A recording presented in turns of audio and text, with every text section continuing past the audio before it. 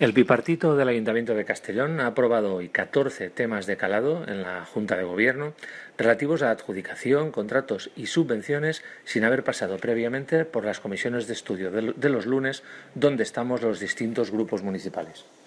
¿Es legal? Sí, pero una vez más se demuestra que su transparencia no es más que un postureo y se caracterizan sobre todo por ser un gobierno de la opacidad.